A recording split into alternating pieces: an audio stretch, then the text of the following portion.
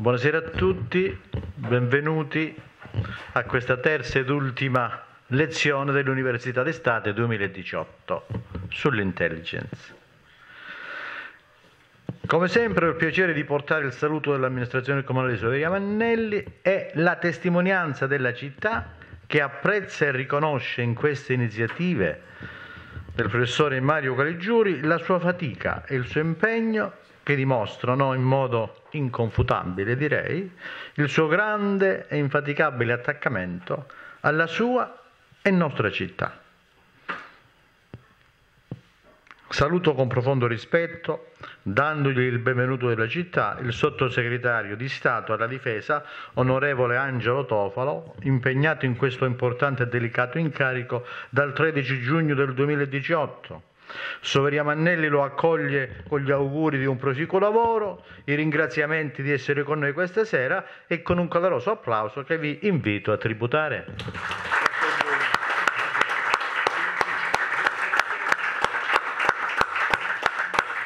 Doveva essere con noi anche stasera il, il professor Roberto Guarasci, direttore del Dipartimento di Lingue e Scienze dell'Educazione e componente del Senato accademico dell'Università della Calabria, però per un problema, per un contrattempo, in, contrattempo insorto oh, da poco, porge le sue scuse e non sarà con noi. Saluto tutte le autorità presenti in sala, gli studenti intervenuti anche da fuori regione per l'interesse evidentemente suscitato da queste elezioni e tutti gli appassionati che hanno fatto chilometri per non perdere questo appuntamento. Saluto e ringrazio quindi tutti quelli che hanno collaborato per il buon esito della seconda edizione dell'Università d'Estate sull'intelligence a Soveria Mannelli, la Rubettina Editore, la Fondazione Italia Domani, la Proloco di Soveria con il suo presidente Antonio Ferrante, l'Associazione Fiore di Lino con Antonio Abruzzese presidente, Liberi TV con il suo presidente Riccardo Cristiano e Radio Radicale che hanno sempre garantito le riprese di tutti gli eventi. E io non posso prendere altro tempo, quindi per finire vorrei condividere con voi il fatto che come sindaco non posso che essere fiero della mia città, una città di soli 3.000 abitanti che organizza, organizza eventi così rilevanti. Sono certo che non solo sono manifestazioni di, di, intenti o fini a se stesse, ma dietro, come a tutti noto, ci sono azioni reali, concrete, come quelle dell'istituzione di un nuovo corso di laurea presso l'Unical, quello appunto sull'intelligence, che sicuramente porteranno lustro, occupazione e sviluppo alla nostra regione. Buona serata e mi auguro che ognuno di noi possa tornare a casa con un bagaglio di conoscenze più ricco e interessante da meditare e conservare. E vi ringrazio. Passo la parola al professore Caligiuri che introduce l'onorevole Angelo Topolo.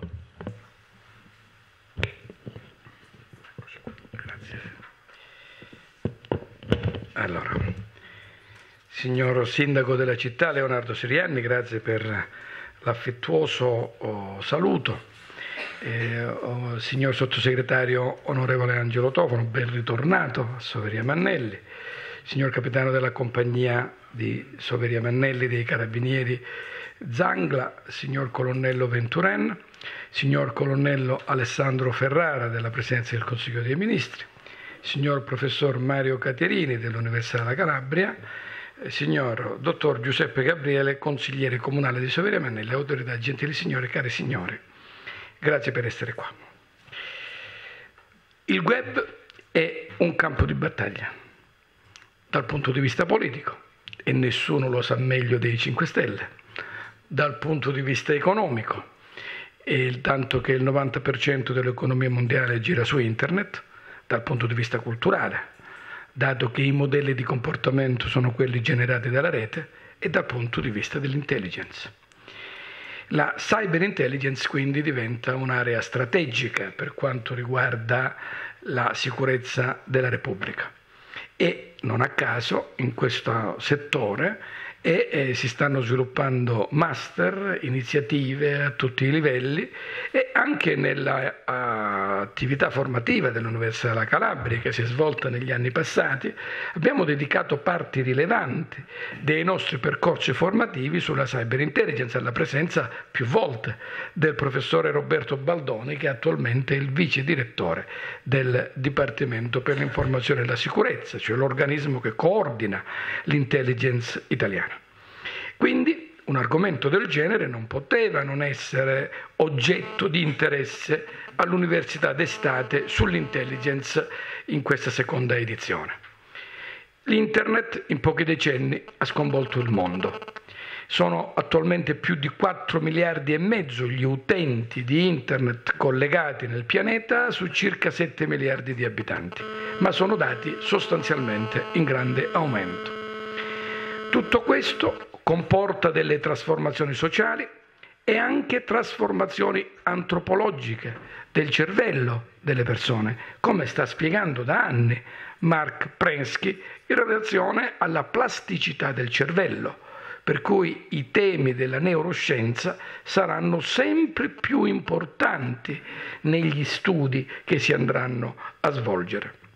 Nel 2020, che praticamente è dopodomani, saranno più di 20 miliardi i dispositivi collegati a Internet, praticamente tre volte la popolazione mondiale.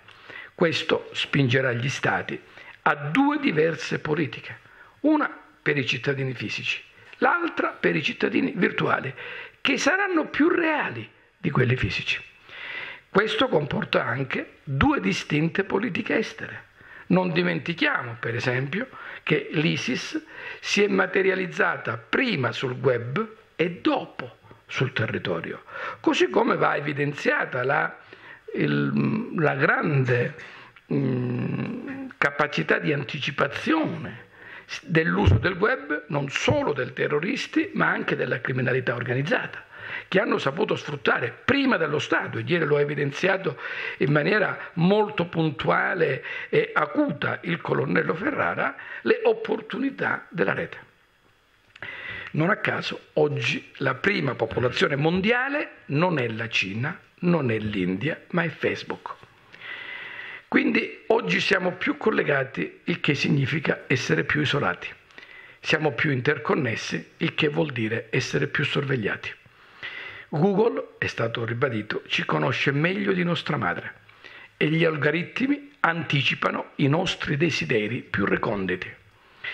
Capire è importante e occorre sapere che le tecnologie hanno riprogrammato per sempre il corso delle nostre vite.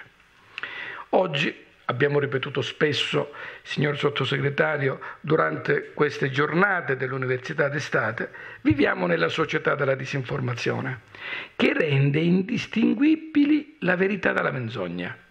E l'informazione, è stato ribadito, è, più, è strutturalmente disinformazione tanto che la gran parte dell'informazione che viaggia sulla rete è disinformazione programmata e intenzionale.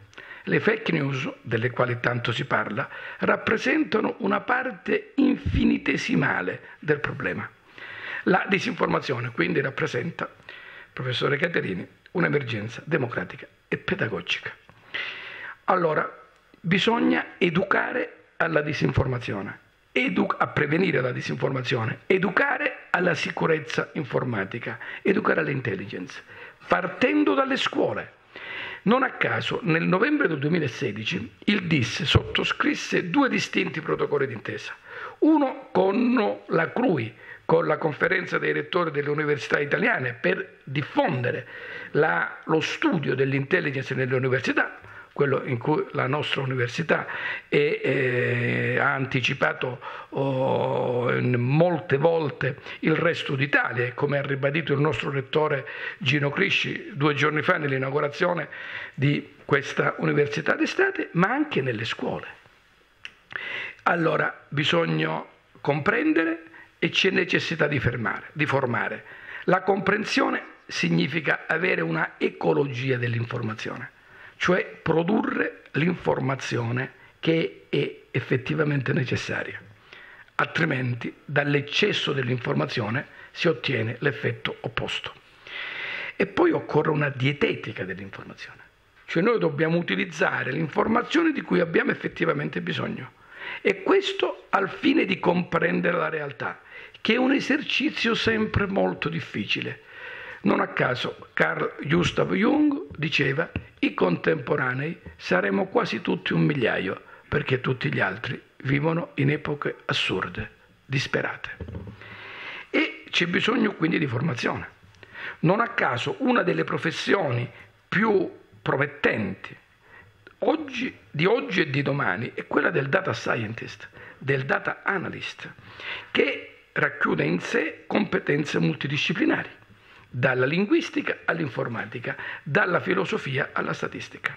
Quindi diventa un punto di incontro degli studi, così come noi vorremmo che fosse l'intelligence. Materia di studio nelle università, con corsi di laurea e master, ma anche nelle scuole. Non a caso Abbiamo sviluppato nei mesi scorsi il primo esperimento in Italia nel liceo classico oh, Telesio di Reggio Calabria, con cui insieme ai collaboratori, ai miei collaboratori del laboratorio Campanella di Reggio Calabria, insieme con i miei collaboratori del Master in Intelligence e del laboratorio sull'intelligence che sono su Reggio Calabria, abbiamo sviluppato un percorso molto interessante che ha visto poi anche sulla nostra, sulla nostra università delle, dei percorsi di alternanza scuola-lavoro particolarmente significativi. Il potenziale rivoluzionario dell'educazione è noto a tutti. Diceva Neil Postman qualche anno fa che l'alternativa è secca tra educazione e disastro. Diceva Karl Popper in relazione alla TV che lui non aveva mai visto che occorreva una patente per poterla utilizzare, perché la TV era non solo cattiva maestra, ma era anche ladra di tempo. Lo stesso potrebbe significare anche per internet. Quindi utilizzare Facebook e i social avendo una patente? Le linee qua sono totalmente divergenti. Da un lato la rete viene considerata come una potente destrutturazione della politica che è diventata inefficiente rispetto ai problemi della collettività. Dall'altro la rete, come profetizzava Umberto Eco, dà spazio a legioni di imbecilli. Quindi anche le richieste più immediate di qualche giorno fa di chiudere Facebook sono delle richieste velleitarie, perché non è assolutamente possibile tornare indietro.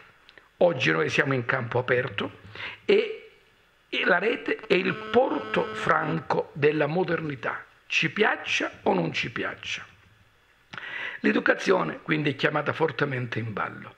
Occorrono in questo anche campagne di informazione istituzionale, portate avanti magari dal sistema della difesa, portate avanti dalla Presidenza del Consiglio dei Ministri.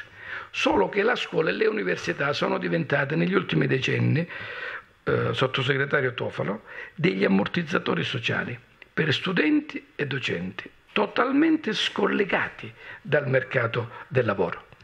Da un lato si evidenzia quel facilismo amorale che è stato generato dal 68, che piuttosto che ridurre le distanze tra figli di famiglie benestanti e figlie di famiglie non benestanti ha nel medio periodo ha addirittura allargato queste distanze invece di chiuderle e addirittura corriamo il rischio di produrre un'educazione per popoli superflui, perché le persone alla fine potrebbero non servire né per fare le guerre, perché li faranno i droni, né per lavorare nelle fabbriche, perché lo faranno i robot, né per l'esercizio della democrazia, che dimostra dei limiti sempre più evidenti.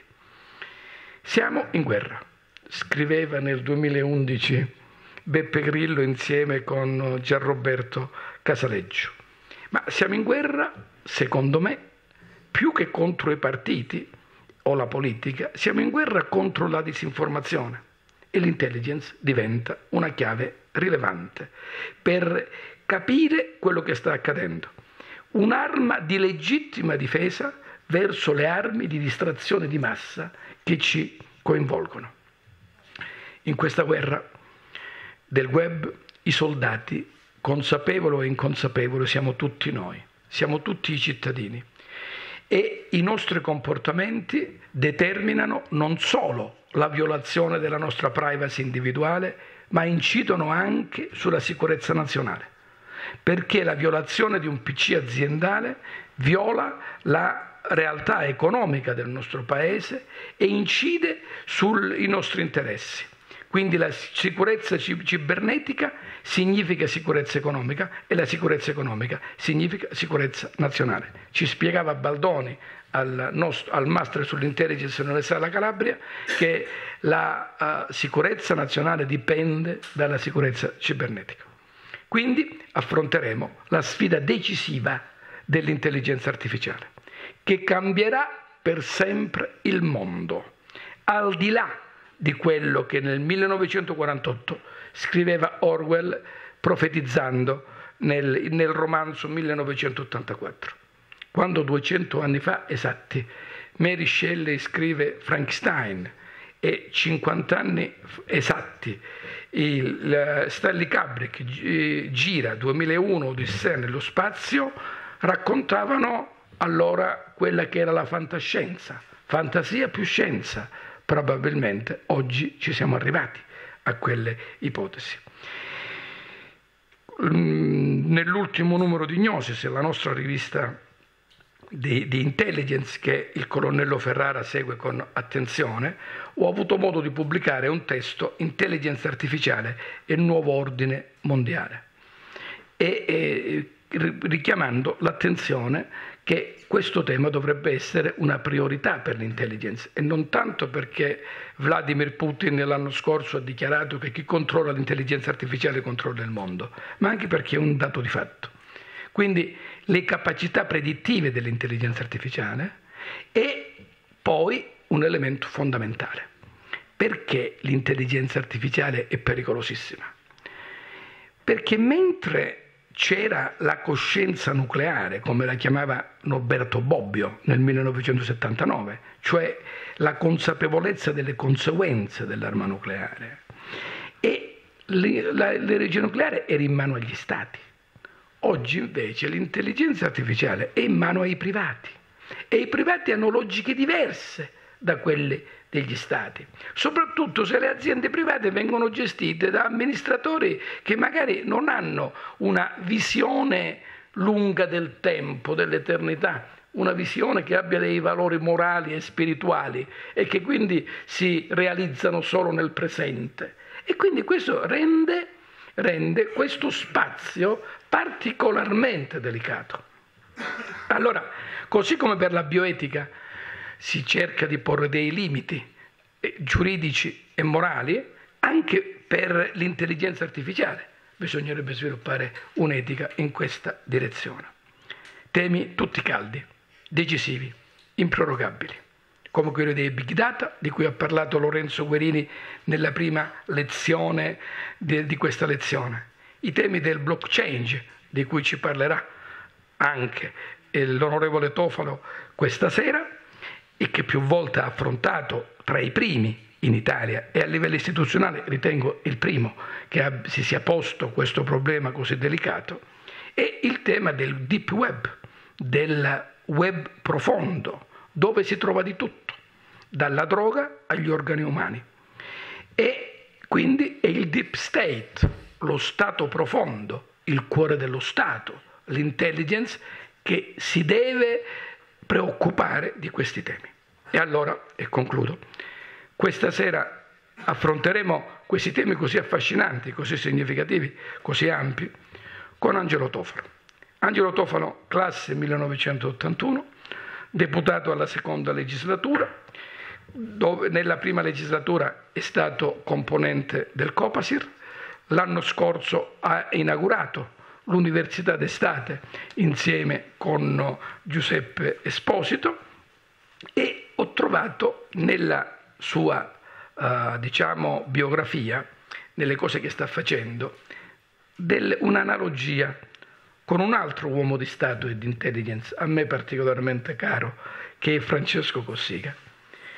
Cossiga era stato il più giovane sottosegretario alla difesa, nominato nel 1966 nel terzo governo Moro. E in quell'occasione gli venne affidato dal presidente Moro la delega per i carabinieri, la prima e unica volta fino ad adesso, e la delega a Gladio. La seconda analogia è la capacità di intercettare le dinamiche del nostro tempo. Ebbene, alla, uh, l'onorevole Tofano è stata assegnata dopo Cossiga alla, la delega per la gestione dei carabinieri e l'area del cyber.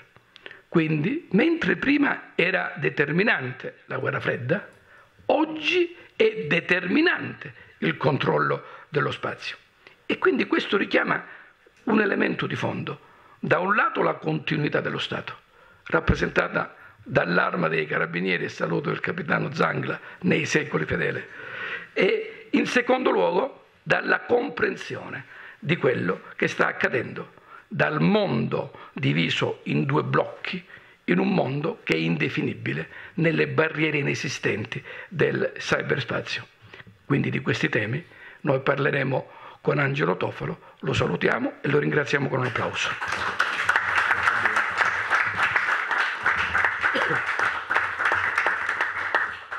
Buonasera a tutti, grazie per essere qua. Saluto tutte le autorità presenti, ringrazio il sindaco Leonardo Siriani per l'ospitalità e ovviamente l'amico, il professor Mario Caligiuri che è stato fin troppo buono ecco, nella, nella, descrizione. Poi io, eh, giovanissimo, non ho mai fatto una politica, il secondo mandato, ma come forse vi ho già raccontato l'anno scorso, ecco, mi sono trovato uh, in questo percorso che per me era un semplice percorso doveroso di attivista civico, un cittadino che si interessava alla cosa pubblica e poi ecco è successo quel che è successo e uh, ho scoperto sì, uh, di recente appunto c'era questa analogia, cioè ho ricevuto la delega all'arma dei carabinieri che nella storia era stata data solo al Presidente Cossiga, sicuramente dire, è un onore, un significato, un significato forte che mi, mi, mi rende d'orgoglio ma anche di, di responsabilità. Eh, oggi come l'altra volta vorrei fare una chiacchierata, come dire, una conversazione, quindi interrompetemi ad ogni curiosità, eh, perché anche io vorrei, vorrei imparare ecco, qualcosina oggi da voi. E io vi racconto un po' per l'esperienza che ho fatto nella diciassettesima legislatura, ero eh, capogruppo per la mia forza politica eh, al Copasir e oggi, esattamente oggi è 8, il 13, la settimana prossima tra l'altro sarò in Corea, saranno esattamente tre mesi eh, da quando ho ricevuto il mandato dal Presidente Conte come sottosegretario alla difesa e quindi ecco tra intelligence, difesa e al centro poi c'è il concetto della sicurezza eh, affronteremo un po' di temi eh, con una particolare attenzione a quello che è la minaccia cibernetica, a quello che è internet, a quello che ci ha sottolineato il professor Caligiuri.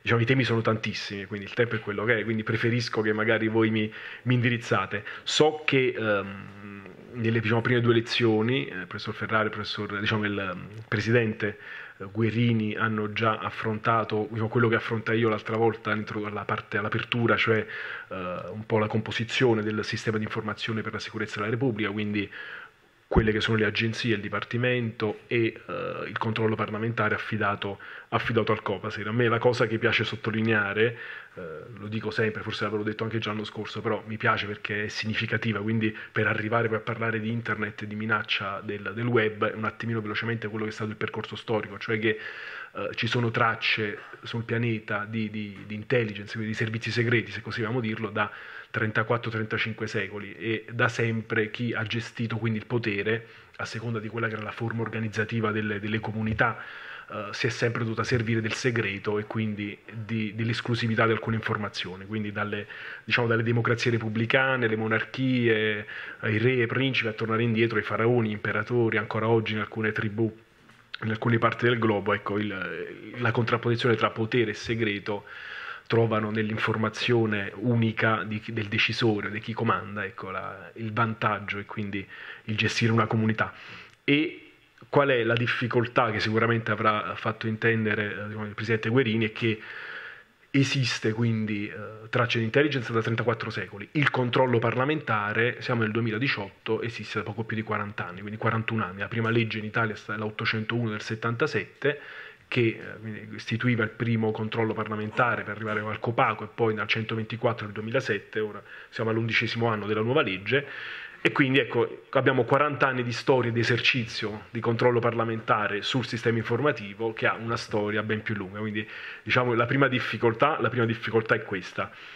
E poi c'è, eh, quindi non sto qui a ricordare, ecco, ho preso un po' eh, di appunti da eh, il dopo primo dopoguerra, quindi dopo la prima guerra mondiale, i primi diciamo, servizi segreti più strutturati delle forze armate che erano singole, quindi esercito, marina, aeronautica, avevano i loro, i loro, servizi, quindi a carattere principalmente militare, che poi furono uniti nel, nel SIFAR, successivamente il SID dopo il golpe, il piano solo, la trasformazione, la legge CESIS, SISMI e SISDE e poi dal, dal 2007 abbiamo il DIS, l'AISI e l'AIS e sicuramente ecco, per quella che è la velocità uh, della anche gli effetti della, della, globalizzazizione, qualcuno ha definito shock della globalizzazione, sicuramente abbiamo un mondo molto più complicato e minacce, eh, non dico nuove, perché poi spesso la, cyber, la minaccia cyber viene identificata come minaccia nuova, io sottolineo sempre che eh, sicuramente è una delle più recenti, però la minaccia cibernetica esiste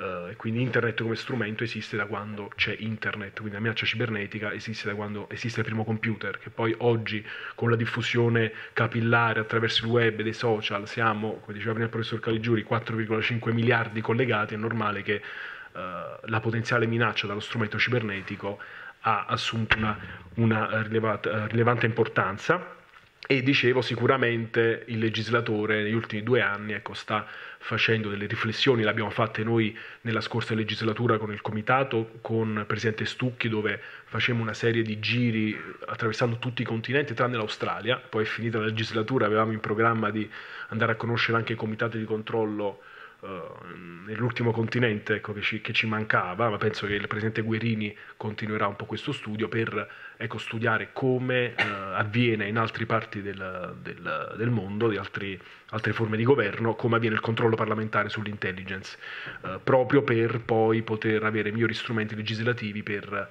per legiferare e a mio avviso ecco, anche la 124 va un pochino aggiornata perché tante cose buone introdotto e in primis, non mi stancherei mai di dirlo, la diffusione della cultura della sicurezza che è prevista ad opera del DIS e tra l'altro io ci ho tenuto a chiedere al Ministro, ho ottenuto eh, per quanto riguarda la difesa la trattazione delle problematiche inerenti alla diffusione della cultura della difesa e della sicurezza, quindi in ambito difesa eh, ho, ho, ho chiesto, ho avuto la delega perché ritengo sia fondamentale. Oggi Ecco, perciò ringrazio ancora il professor Caligiuri che mi ha invitato l'anno scorso e sono tornato con piacere quest'anno perché quando si parla di questi temi è sempre, è sempre fondamentale. Quello che è cambiato, quello che eh, si è modulato, come dicevo, è la, è la, minaccia. La minaccia per cui un aggiornamento, ecco, io già ho suggerito in passato, ma non solo il solo, in maniera un po' trasversale, sicuramente il superamento forse di un'agenzia interna e esterna perché eh, ecco, la minaccia non ha un, un, confine territoriale, quindi non esiste, eh, cioè, se vogliamo semplificare sicuramente c'è la minaccia interna dove noi identifichiamo quella sul territorio nazionale e quella estera magari per il nostro know le nostre aziende fuori gli italiani diciamo all'estero o la minaccia che dall'esterno arriva all'interno, però ormai i confini sono, sono labili soprattutto nel, nel dominio cibernetico.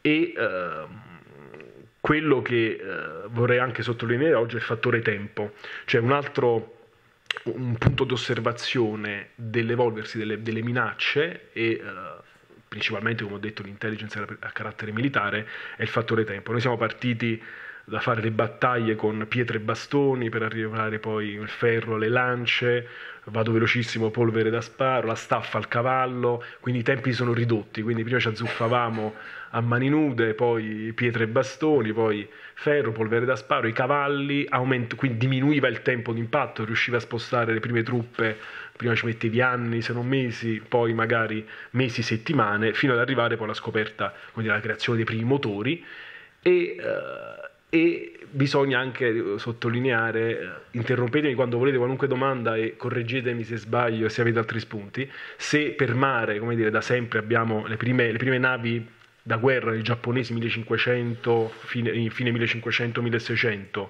eh, i primi carri armati, i primi aerei sono visti quindi per terra e per cielo con la prima guerra mondiale, i tedeschi che erano all'epoca molto, diciamo, concentrati sullo sviluppo della tecnologia, poi abbiamo sempre dopo i tedeschi i primi missili successivamente alla seconda guerra mondiale e arriviamo alla eh, minaccia cibernetica che riduce tutti i tempi. Quindi se prima siamo partiti con un attacco o battaglie che duravano anni, mesi, giorni, comunque settimane, con eserciti che ancora oggi ci sono, oggi con la minaccia cibernetica e col dominio uh, cibernetico, quindi internet cambia tutto.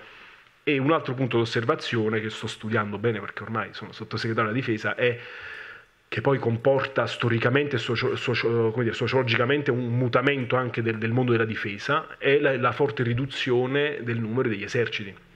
Noi stiamo adottando da anni eh, una riduzione perché se come dire, la prima guerra mondiale vedo il numero dei morti, si parla di un milione e mezzo e più di morti, eh, oggi non c'è più necessità di avere tutti quegli uomini, quindi noi siamo arrivati ad avere meno di 100.000 uomini nell'esercito, i carabinieri sono, sono di più e fanno un grandissimo lavoro che ogni giorno quotidianamente eh, dire, apprezziamo.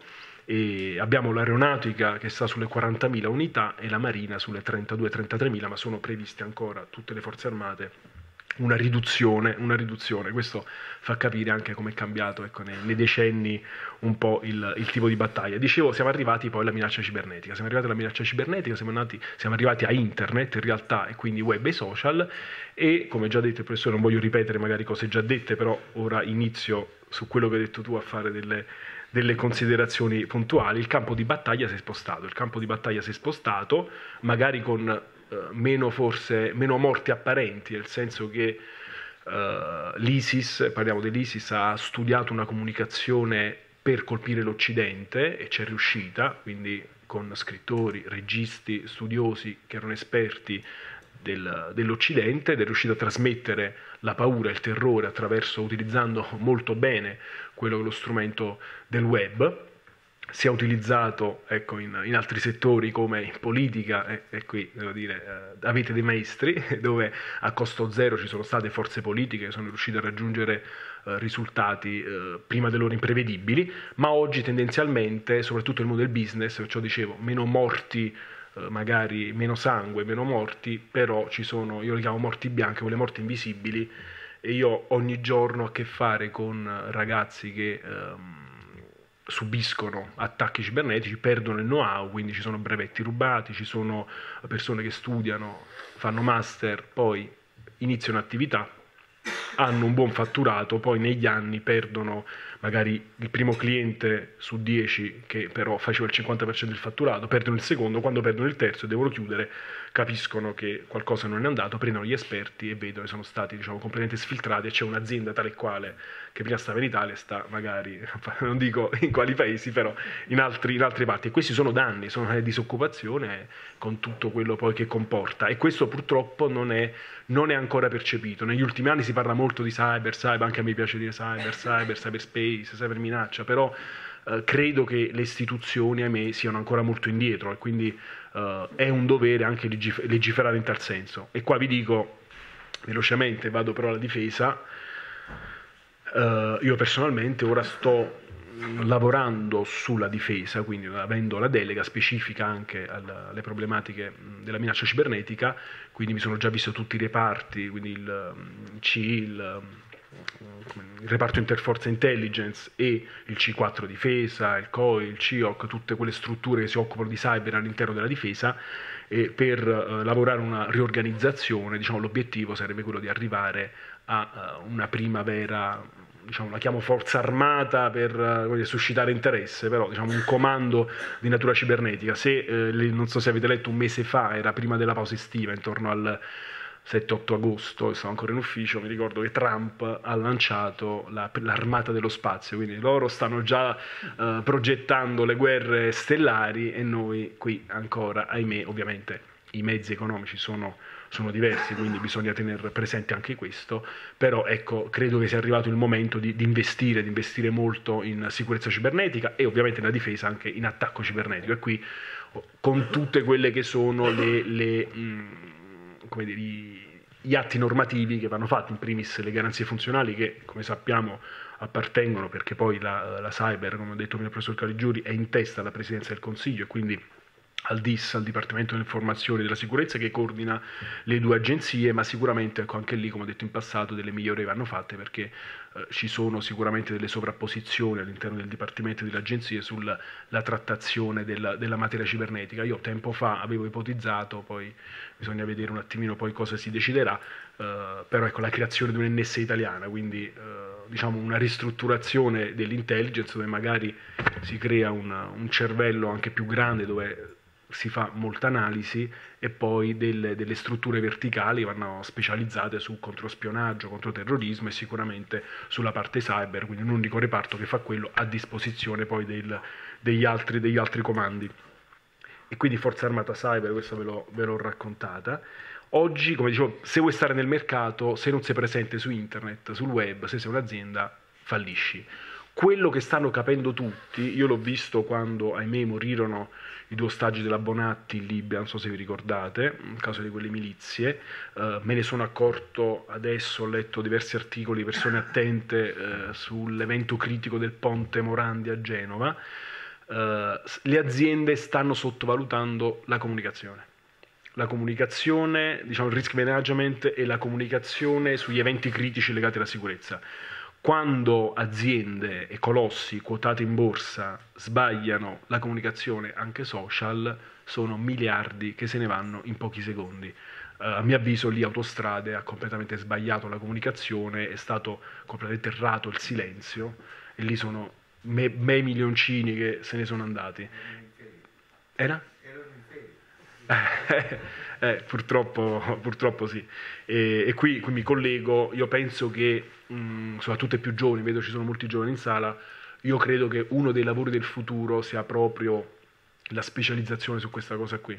Quindi aziende che non sanno comunicare se stesse, soprattutto in, eventi, in momenti critici, eh, quindi la gestione della comunicazione in alcuni momenti può essere vitale, può essere vitale. La direzione alla quale si sta dando, già siamo andati, è quella dei, dei big data, quindi dei colossi delle aziende, e qui arriviamo a quelle che sono le grandi diciamo, opportunità e da un'altra parte i rischi. Come sempre dico, perciò serve diffusione della cultura della sicurezza, l'elemento più debole siamo noi, cioè l'essere umano, quindi chi sta tra la sedia e il PC. Quindi se noi informiamo e facciamo formazione, riduciamo il rischio e quindi aumentiamo quella che è la sicurezza. E lo dicevo prima in una chiacchierata tra amici prima di iniziare diciamo, questo incontro, io penso e reputo che uh, l'intelligence, quindi il metodologico, il metodo scientifico vada insegnato nelle scuole, adesso non, so, non sono diciamo, un docente, magari qui ci sta chi uh, più di me ne sa e può, può, dire eh, qualcosa di più giusto, però io penso che dal, sicuramente dal liceo, ma se non prima, va insegnato il metodo logico e il metodo scientifico, che significa semplicemente far capire quando esce una notizia, una voce, un qualcosa, da chi parte, se quella fonte è credibile o meno e che livello di credibilità è. Perché purtroppo, ecco, come eh, si diceva prima, poi si mettono in giro le cosiddette fake news basta qualcuno che ci abbocca la dà per vera, parte il tantam, diventa virale e si prendono delle cantonate enormi e succedono anche spesso ai più preparati che sottovalutano però la fonte originaria e si prendono delle cantonate. Poi ovviamente fatto come dire, a livello intelligence eh, si, ci sono giochi e giochini tra magari due o tre intelligence a livello mondiale che si mettono d'accordo magari per, per, per raggiungere un obiettivo, quindi a discapito magari di un altro governo e saper distinguere le fonti e fare un po' di reverse engineering è fondamentale, è fondamentale questo qui. E sulle fake news io qui ti faccio però una correzione, forse l'hai detto dopo parlando di Popper della TV, però sulle fake news io ci tengo molto perché sono un appassionato di, di web, di internet, questo ve l'ho, ve l'ho già detto anche l'anno scorso, io non guardo la televisione da ho perso il conto, ma saranno 12-13 anni almeno, cioè che non, prima la guardavo, adesso sicuramente mi capita di guardare il TG, cioè non significa però io non ho la televisione in stanza, non ho televisione a casa, non, poi quando sto in ufficio magari passo nell'ufficio di qualcun altro, mi capita, però la televisione non la guardo da anni, ho completamente staccato e come fonte informativa ho solo, ho solo internet e sulle fake news eh, non bisogna fare l'errore di demonizzare uno strumento, cioè quello del web e quello di internet, perché le fake news io le leggo quotidianamente sui giornali, mi capita di vederle in televisione o le ascolto per radio. Quindi ehm, diciamo sulle, sulle, fake news bisogna, bisogna stare attenti perché eh, la disinformazione c'è attraverso tutti gli strumenti di, di, di, informazione di massa. E qui ecco, vengo al blockchain che eh, è una tecnologia che sto approfondendo da qualche anno che credo prenderà piede, prenderà piede che sembra così complicata, ma complicata non lo è, me la spiego in due minuti, poi non sono, non sono un tecnico informatico, però ecco, non, è, non è complicata. Uh, serve per uh, praticamente dare maggiore sicurezza a un sistema, quindi se vogliamo dare un valore a un oggetto, una casa, c'è magari un notaio che uh, dà valore a quell'oggetto, per cui uno fa un contratto, Angelo Tofalo compra la casa da Mario Caligiuri, c'è il notaio che attesta che c'è un trasferimento economico e quindi quel bene passa da Mario Caligiuri ad Angelo Tofalo. Quando siamo invece sullo strumento internet, se noi vogliamo dare valore a una cosa, quindi venderla o dare comunque un valore cambia tutto, perché se io adesso vi scatto una foto e, la mando al professor Caligiuri, io non è che eh, io ho venduto, io ho dato quella foto, quella foto ce l'ho sempre nel mio telefonino, ce l'ha lui, lui magari la pubblica su Facebook, ce l'hanno tutti, quindi non ha un valore unico aggiunto. E eh, per dare valore su internet ovviamente sono nati, prima c'erano le banche, tanti altri strumenti, le poste, e, um, faccio un esempio PayPal.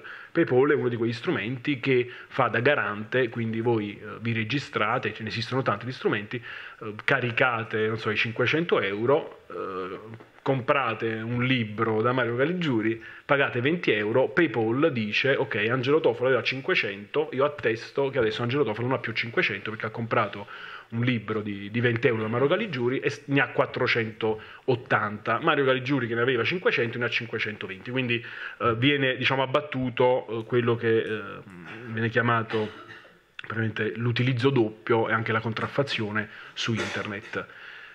Ovviamente PayPal poi è uno strumento che centralizza, quindi è sicuro perché c'è un garante che dice questo valore è passato, questo ebook è passato da Mario Caligiuri ad Angelo Tofalo, Angelo Tofalo ha 20 euro in meno, perciò i bitcoin famosi, no, ha meno soldi, ce l'ha lui, ok, però che succede? Se PayPal o Amazon, eBay, tutti questi strumenti qui dovesse subire un attacco di natura cibernetica, è un soggetto unico facilmente attaccabile. Quello che fa ecco, la blockchain invece crea un, un registro condiviso, quindi eh, siamo tutti quanti in questa sala e creiamo un, una struttura, quindi eh, ovviamente a compartimento stagno, diffusa di blockchain, ognuno di noi ha un server, io compro, io mando la foto al professor Mario Caligiuri e questa foto deve restare unica, tutti quanti voi registrate, diciamo, avete, immaginate un foglio, un registro dove eh, ci sono diciamo, un valore economico in 1 a 10, tutti voi sul vostro registro segnate che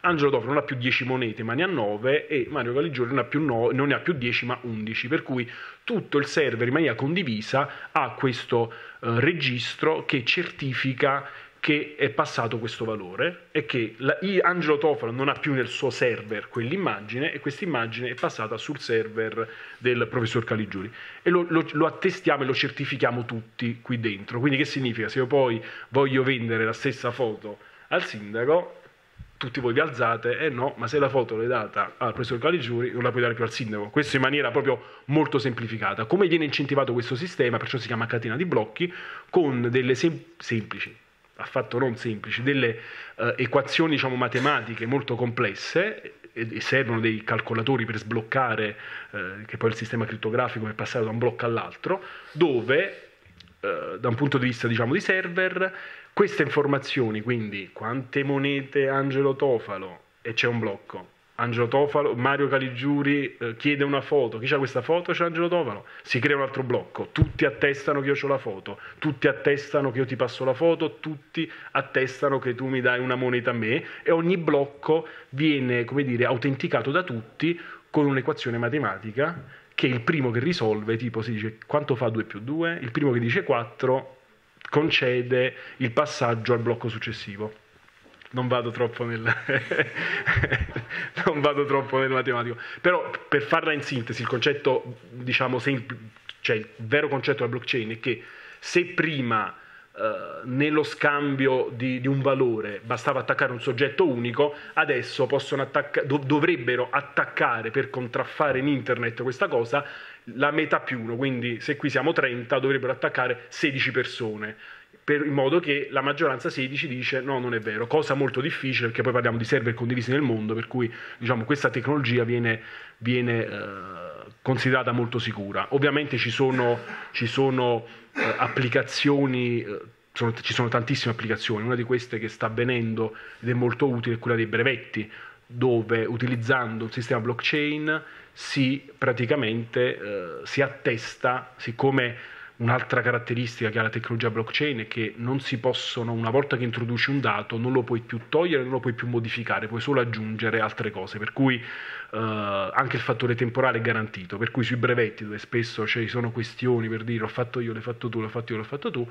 con la tecnologia blockchain non scappi, hai il dato preciso di chi è stato il primo a, a creare questa cosa qui. E io penso che nei prossimi anni questa tecnologia prenderà sempre più piede e creerà una maggiore ecco, democrazia, democrazia di rete, perché quello che credevano molti anni fa è che con internet ci fosse stata un po' più di democrazia, in realtà Uh, per quanto riguarda gli scambi economici, perché inizialmente quando internet stava esplodendo alcuni analisti dissero che uh, il sistema avrebbe creato una maggiore, una più eca distribuzione delle risorse. Non è stato così perché appunto i grandi colossi, eh, i vari Amazon, eBay, hanno centralizzato, un po' come hanno fatto i notai e le banche eh, prima di loro, hanno centralizzato quelli che erano gli scambi su internet, per cui non c'è stata questa equa ridistribuzione delle risorse. Con la tecnologia blockchain, che viene appunto eh, intesa come più democratica, sicuramente si avrebbe, si avrebbe questa, questa trasformazione. Una domanda. Sì.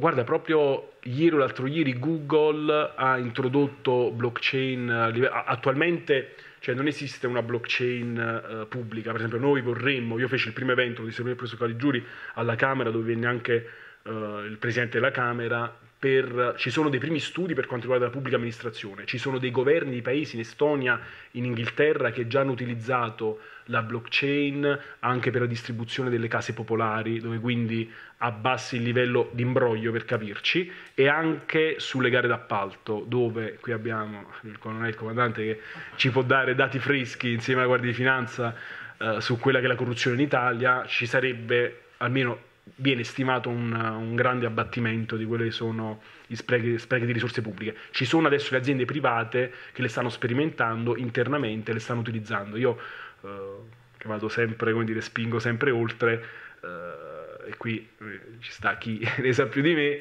eh, per quanto riguarda l'intelligence, secondo me si potrebbero applicare sistemi blockchain interni, cioè è normale, uno deve capire, non è che con la blockchain siamo su internet, è una tecnologia, è tutto aperto, no, cioè io ho fatto l'esempio in questa stanza, cioè ci sono dei, dei sistemi a compartimento stagno lì dove tu puoi garantire una massima trasparenza, quindi in alcuni reparti delicati, lì dove tu utilizzi una blockchain, tu controlli tutti i tuoi uomini, tutti i dati che vengono messi e quindi diciamo, il sistema è molto meno uh, contraffattibile, se vogliamo dire, proprio questo è il... Non è? Non si può manomettere. Sì, sì, è manomettibile, giusto. Sì, senso... Ma, ad oggi, ehm, quindi quanto ho capito, sono ehm, la tecnologia blockchain, quindi in sperimentazione su aziende private, giusto? Ti parlo di, di qui, cioè sì. qui nel pubblico non c'è ancora nessuna utilizzazione. In altri paesi, come Estonia e Gran Bretagna, hanno già utilizzate. Ok, e al momento, siccome all'inizio dico, ha dei costi elevati, ma no, guarda, io ci sono, se cerchi su internet, ci sono, vedi Bitcoin, queste prime monete, c'è questa leggenda, eh, come si chiama, il, il, giapponese che in realtà non esiste, hanno affidato a lui la creazione eh, per eh, creare il sistema Bitcoin, cioè tu da te, se sei un bravo informatico, puoi creare una rete di tecnologia Bitcoin. Tutto sta a creare l'algoritmo iniziale a seconda di quello che vuoi fare, cioè sono dei software per intenderci, sono dei software che tu puoi applicare e creare per la tua azienda a seconda della tua necessità. Quindi il costo, ci sono alcuni analisti che parlano di un costo elevato quando crescono i numeri, ad esempio utilizzare la pubblica amministrazione, siccome per andare avanti tu devi incentivare il sistema a funzionare e l'incentivazione viene data appunto dai bitcoin che sono questi, queste monete virtuali, per, andare, per, far funzionare questo sistema, questa tecnologia, tu appunto devi risolvere dei quiz, no? dei quiz dei, dei matematici. Questi quiz ovviamente parliamo di, di uh, formule, diciamo di di quiz abbastanza complessi che vengono risolti da calcolatori. Quindi maggiore hai potenza di calcolo, maggiore funziona la tecnologia.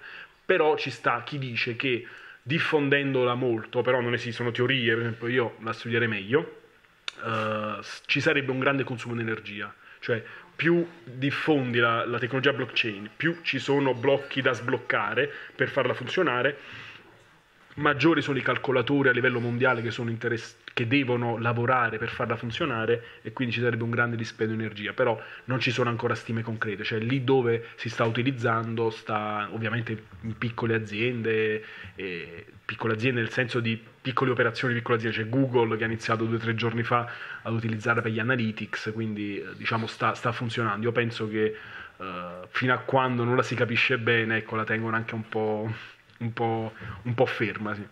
però è tutta da scoprire. 10 CPU con il massimo sistema, questo e quell'altro, consumano 10 megawatt eh. ora, se messe al massimo, al massimo carico.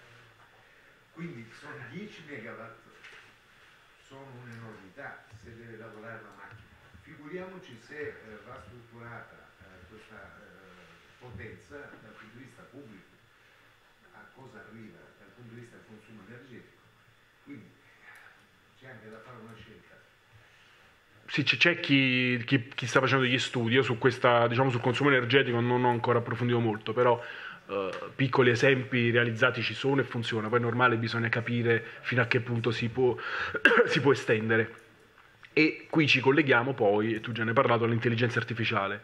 Uh, leggevo qualche giorno fa diversi articoli sempre di analisti che vanno oltre quella dell'intelligenza artificiale, ovvero quella che sarà l'intelligenza artificiale del singolo. Cioè ognuno di noi ha dei profili social, già sappiamo che è tutto indicizzato, i motori di ricerca, dico Google, che è quello diciamo, più, più noto a tutti, e uh, siamo profilati, siamo profilati tutti.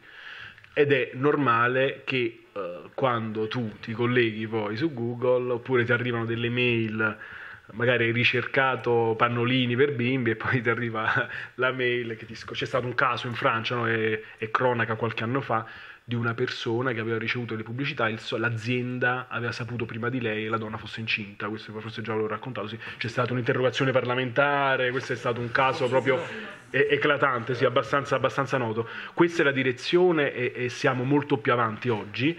Uh, io, io vedo un problema in quelli che sono gli algoritmi eh, e, e, sto provando a seguire, però questo lo puoi, puoi come dire, contrastare, perché poi ci sono delle opportunità e delle minacce, puoi contrastare, io lo chiamo eh, il comportamento magari non etico, non dico che non etico, però quello che potrebbe essere non etico delle, delle multinazionali di big data, andando a mettere le mani sul collo di, di ingegneri che magari eh, lavorano agli algoritmi. E faccio l'esempio dell'auto, non so se ve l'ho già fatta, ci sta l'esempio pilota, che è quello della macchina guidata dall'intelligenza artificiale, quindi c'è questo uh, problema di sicurezza davanti, voi state da qua a dieci anni, già c'è, però diciamo fra dieci anni l'avremo tutti, stiamo nella nostra macchinina, stiamo andando da Soveria Mannelli a Crotone e leggiamo il nostro libro, lì c'è un problema di impatto davanti, ci sono telecamere, sensori, quindi la macchina, l'auto artificiale guida da sé, a quel punto davanti c'è un incidente, c'è marciapiede a destra, marciapiede a sinistra, la, l'intelligenza artificiale, quindi l'algoritmo deve decidere cosa fare, quindi frenare improvvisamente, magari voi fate testa e, e cruscotto, virare, girare a destra, girare a sinistra, magari a destra vengono rilevati due bimbi che giocano con la palla, a sinistra ci sono due anziani, l'auto davanti c'è una donna, magari la telecamera rileva che la donna è incinta perché ormai siamo a questi livelli qui, per cui è l'algoritmo che magari dico sarò brutale, giri a sinistra perché ci sono due anziani, l'aspettativa di vita X, magari l'algoritmo deciderà di non ammazzare e noi questo è il mondo che sta arrivando, eh? non, lo so che è crudele, cioè sembra crudele, ma questo è il mondo che sta arrivando. Allora qual è il dovere della politica? Il dovere della politica è, secondo me, decidere e legiferare, per cui non farsi imporre su un problema etico che è importantissimo, non farsi imporre. Le assicurazioni. Eh sì, beh, poi, vabbè, no, non sto a, a, dire, a, parlare dei mercati che si sviluppano, però ecco, il concetto è, sci- io sono ingegnere, già lo detto, cioè, quindi sono per la scienza, per il progresso tecnologico, sono appassionato, però attenzione, cioè nel senso cerchiamo di capire anche la direzione che stiamo prendendo, che ormai ci sta travolgendo e cerchiamo, e io sono per la macchina che lavora e magari l'uomo si diverte di più e legge qualche libro in più, non a discapito ecco, della, della disoccupazione, però, dell'occupazione del lavoro. Però da un punto di vista etico io penso che il dibattito, il dibattito vada affrontato.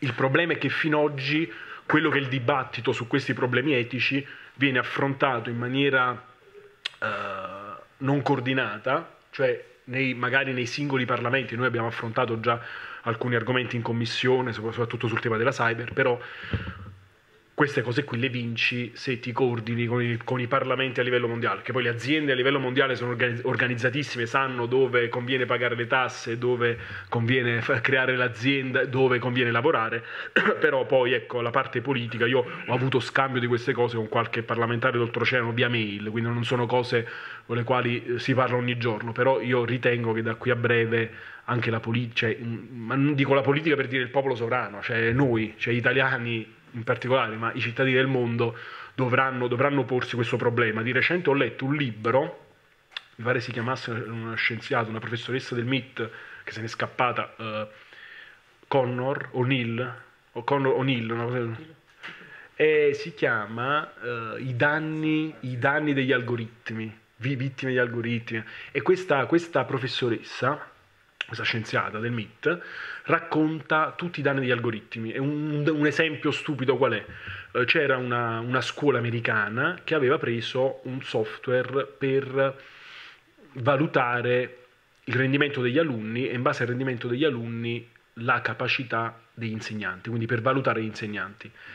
E questo software funzionava, arrivò il giorno in cui bisognava ridurre... Hai trovato? Dopo, dopo, te lo passo. Sì. Dopo te lo passo. E, e, bisognava ridurre il numero del personale di docenti. Che succede? Che in base all'algoritmo, al software, uscivano i peggiori docenti in base ai peggiori risultati degli alunni. Questa professoressa X era considerata la migliore di tutti perché aveva un metodo innovativo. Un giorno il software esce il suo nome, succede la rivoluzione, lei giustamente viene cacciata. Eh? Lei fa causa con l'avvocato, alla fine dimostra, lei dimostra che alcuni professori, per dimostrare che erano bravi, quindi se arrivavano gli studenti al terzo anno che prendevano tutti i sei, l'anno dopo mettevano tutti i sette. Lei che era più onesta e magari più, più rigida, se tu meritavi 5 ti metteva anche il 5, quindi magari c'era un declassamento, perché lei era, come dire, onesta e valutava, però questo che significava? Che lei non era brava perché e questo algoritmo in questo software di questa scuola era impostato così. E lei poi ha vinto la causa ed è stata reintegrata. E ci sono tanti esempi di come gli algoritmi stiano uh, decidendo delle nostre vite. E spesso non ce, ne, dire, non ce ne accorgiamo nemmeno più, al di là diciamo, delle profilazioni eh, banali e, e, di quando ci colleghiamo a internet e troviamo la pubblicità e magari per una settimana abbiamo parlato, ah mi devo comprare l'auto, ah, poi ti, ti colleghi e trovi, ti arriva la mail, vuoi una bella Skoda, una bella Hyundai? Oggi è così, oggi è così.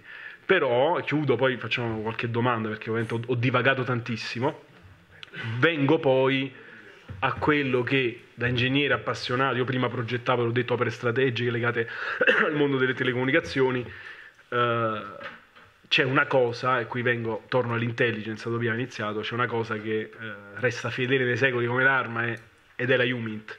Cioè noi possiamo mettere tutta la tecnologia che volete, possiamo avere tutto il futuro e tutti gli strumenti possibili e immaginabili, ma io penso che la UMINT ancora di più adesso, ancora di più adesso che si sta abbassando la guardia, sarà fondamentale da quei prossimi anni più di prima, più dei tempi delle versioni interne, le brigate che noi abbiamo, abbiamo vissuto, abbiamo una forte esperienza e questo abbiamo una grande intelligence che ha una storia forte su queste cose e tutti diciamo, gli operatori della sicurezza uh, interna e l'Italia viene presa come modello proprio per l'esperienza che abbiamo avuto, il contrasto alle versioni interne, io penso che proprio in questo periodo in cui si parla tanto di internet, di web, blockchain, intelligenza artificiale, uh, quindi uh, dominio cibernetico, io penso che molte, molte intelligence, molti governi stiano abbassando la guardia sulla Humint, per cui alzarla, e dovessimo farlo noi, ma so che lo stiamo facendo, eh, e tornare ad altissimi livelli di Humint, penso che da qui a qualche anno farà, farà una grande differenza, anche perché ci sono tecnologie ormai che da remoto riescono a inoculare un po' tutto, però eh, per poi prendere l'obiettivo il Humint sbaglia, diciamo, la macchina può ancora sbagliare, quando invece c'è l'obiettivo eh, la risorsa umana difficilmente sbaglia. Io mi fermerei qui, magari qualche considerazione, qualche domanda. Grazie a voi. un po' di tempo per le domande, colgo l'occasione per salutare il professore editore e consigliere comunale Florindo Rubettino che ci ha raggiunti, salutiamo con un applauso professore. Ah, grazie. Allora, quindi abbiamo un po' di tempo per le domande, chi vuole intervenire? Prego, guardi.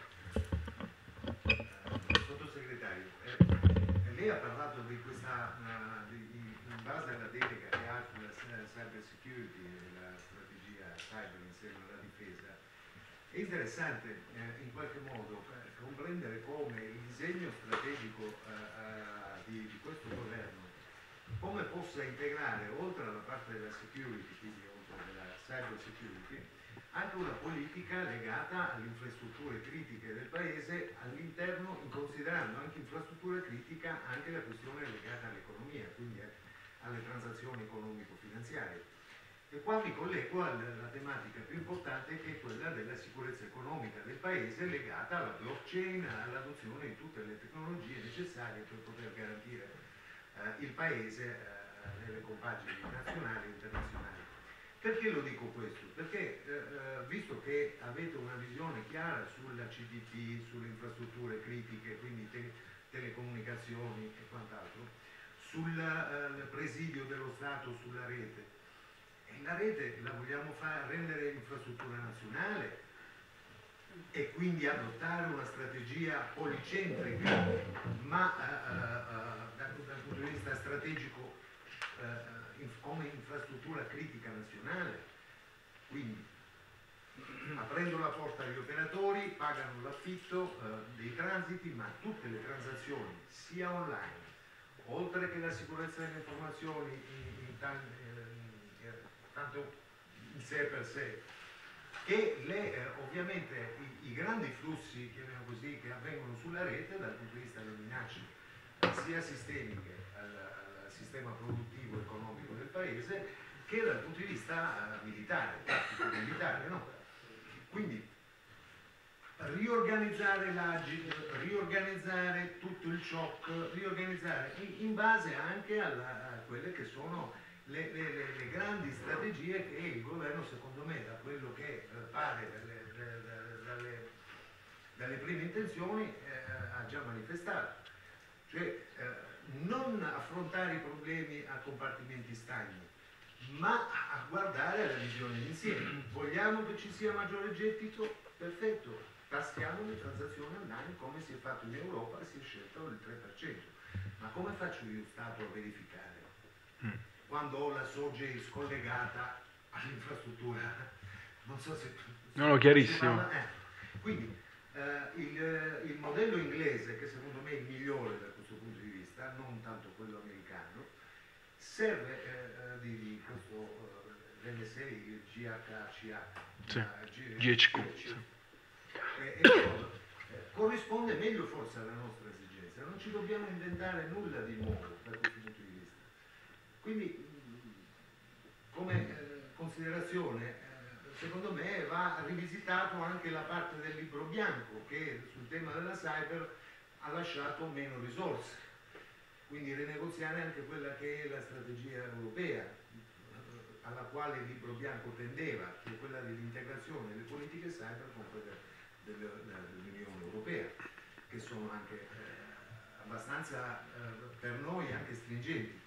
Quindi eh, ritiene che si possano conciliare le diverse visioni, quindi quelle della comunità europea alle quali siamo vincolati, con il libro bianco e soprattutto alla luce dell'interesse nazionale, cioè quindi strategia cyber che non è più solo security ma è strategia cyber nazionale, cioè di cibernetica nazionale. Beh. Allora, faccio, come, sì, come, sì, come sì, utilizziamo? Sì. Facciamo sì. domande, poi sì, risposta alla fine? Perfetto. Come preferisci? Sì, sì, meglio così, dai. Qualche altra domanda? Prego.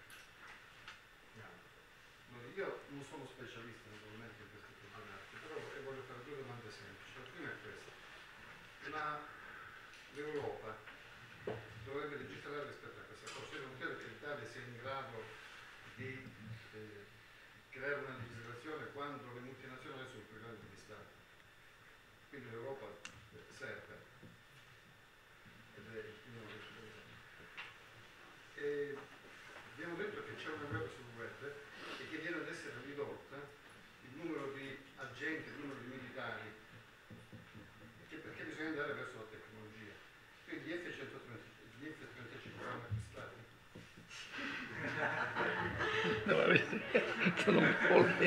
Giornalista? No, no, no, no. Altre domande? Un'altra? No, vai, vai, vai, ci divertiamo. Altre domande su questi temi? Senza timidezza, eh. pure curiosità.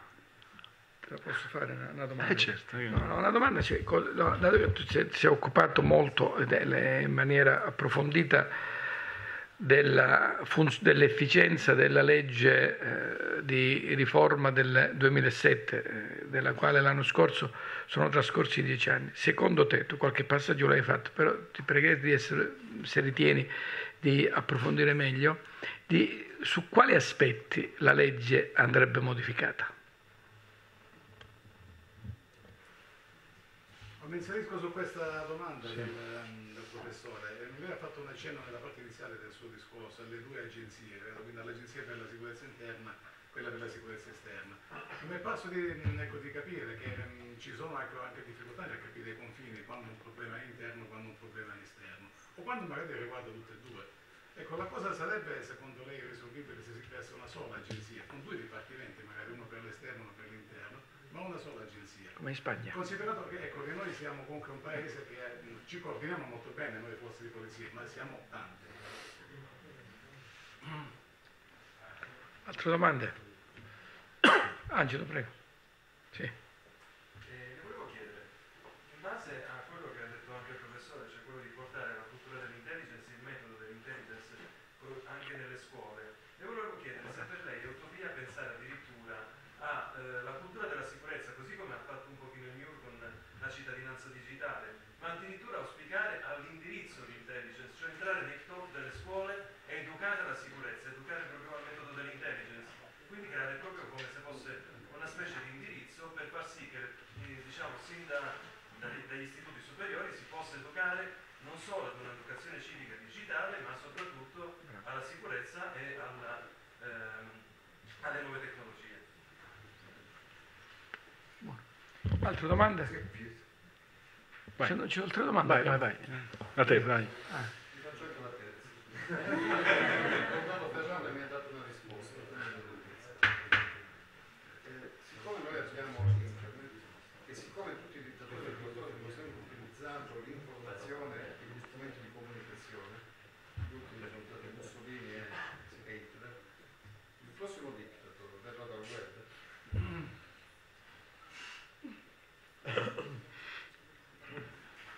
La rete La rete anarchica. Dai, magari inizia a dire qualcosina, poi... Ah no. Certo. vai. Professore Sembrava strano il professore. eh, cyber security e internet delle cose, cioè come tutelare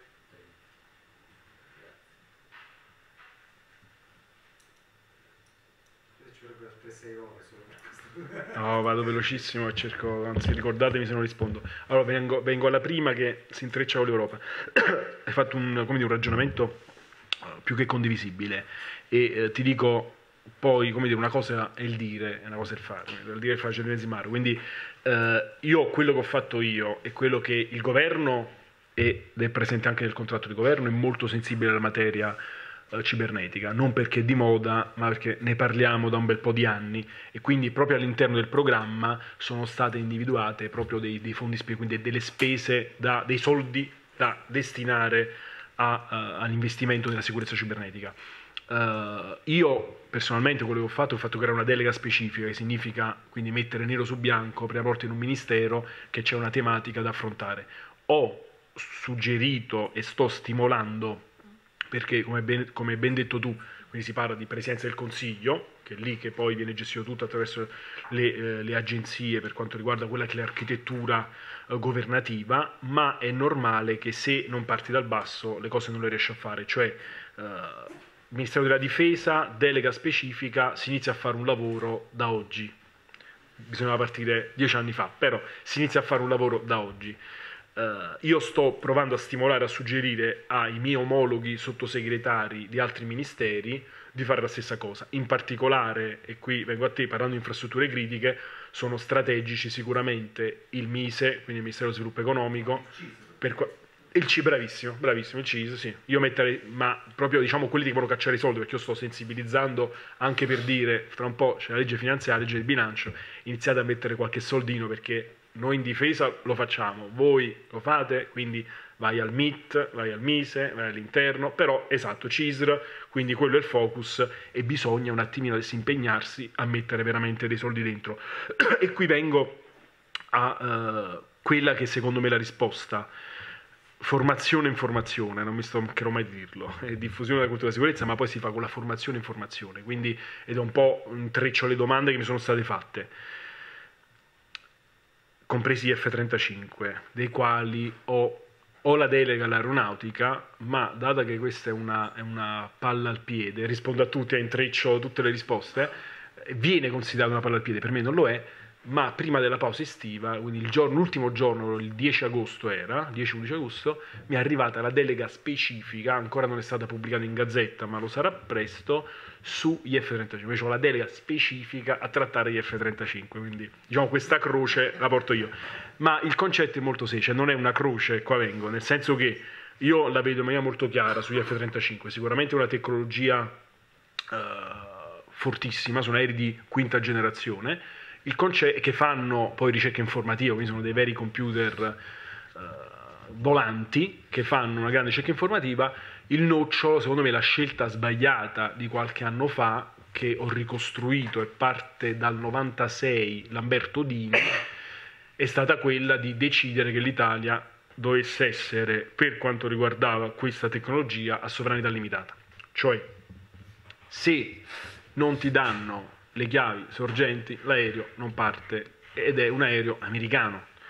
Questo che vuol dire? Che sicuramente come gli amici americani non mai, non saremo mai impegnati in scenari contro, lo vedo, lo vedo impensabile, però io per far capire spesso alle persone degli equilibri faccio l'esempio di una grande piazza dove ci sono 501 persone, uno è l'italiano e 500 sono gli americani come dimensione di potenza, per cui se il flusso va in una direzione, tu o segui il flusso, basta che ti giri semplicemente, anche se ti danno delle carezze, sono degli schiaffi. Quindi il concetto è questo, quindi non si tratta di alleati, non alleati, no. e, uh, quindi il concetto qual era? Uh, gli F-35 noi abbiamo già speso più di 5 miliardi, quindi quindi interrompere e bloccare sarebbe anche da stupido. Ormai già abbiamo 10 aerei, sta arrivando l'undicesimo, il dodicesimo, abbiamo fatto una certa programmazione, ma sicuramente quello che si può fare in maniera molto lecita è magari diluire un po' nel tempo quella che è la spesa e destinare magari i fondi alla cyber o altre cose, quindi questo sicuramente è lecito. Perché poi vengo all'Europa che deve legiferare anche in altre materie, eh, io ritengo che per quello che è lo scenario attuale, e gli ottimi rapporti che si sono instaurati tra l'Italia e gli Stati Uniti, quindi proprio nelle persone del presidente Conte e il presidente Trump, noi abbiamo un'occasione unica perché ormai Trump ha legittimato veramente l'Italia nel mondo, in particolare il presidente Conte, devo dire, è nata proprio una simpatia personale, quindi c'è, c'è un asset molto forte e già gli Stati Uniti hanno detto che ci vogliono dare anche un ruolo di leadership in Libia, è un altro scenario caldissimo, eh, però venendo agli F-35 parliamo, uh, gli americani non è che vedono gli F-35 o uh, altri nomini, per loro è un budget, per cui se tu continui a fare progettazioni e progettazioni, a sviluppare tecnologia con loro, loro sugli F-35, su altre cose, cyber, poco, poco importa, per cui eh, diciamo che in Italia abbiamo subito molto la F-35, no, F-35, anche noi nel dibattito, no, F-35, si creano questi nuvoloni, questi nuvoloni che sono praticamente inutili, quindi non ci sta nemmeno tutta questa tensione a gestire il dossier F-35. E dice, dicevo...